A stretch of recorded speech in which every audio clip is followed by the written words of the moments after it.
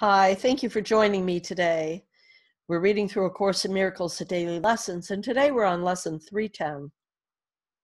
In fearlessness and love, I spend today.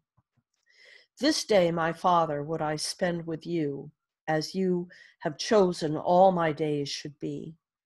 And what I will experience is not of time at all. The joy that comes to me is not of days or hours for it comes from heaven to your Son.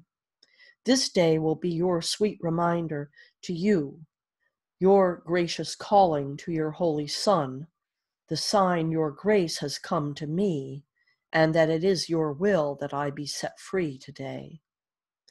We spend this day together, you and I, and all the worlds join with us in our song of thankfulness and joy to Him who gave salvation to us and who set us free. We have restored to peace and holiness.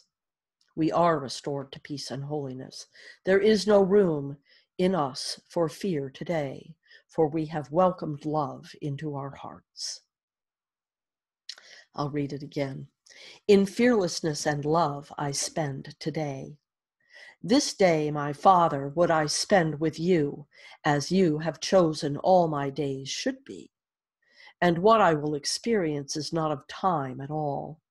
The joy that comes to me is not of days nor hours, for it comes from heaven to your Son.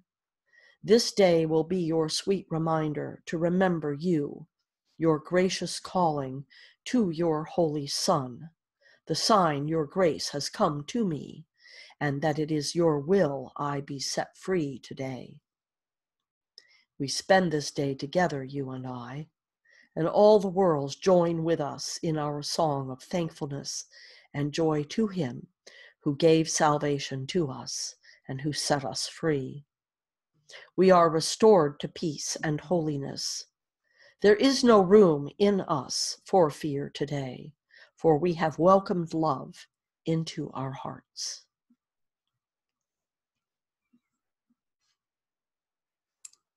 It's a great lesson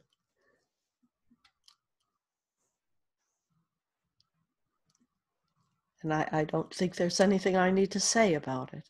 But if you'd like additional support, you can reach out to me 907 351 3003. Texting is best.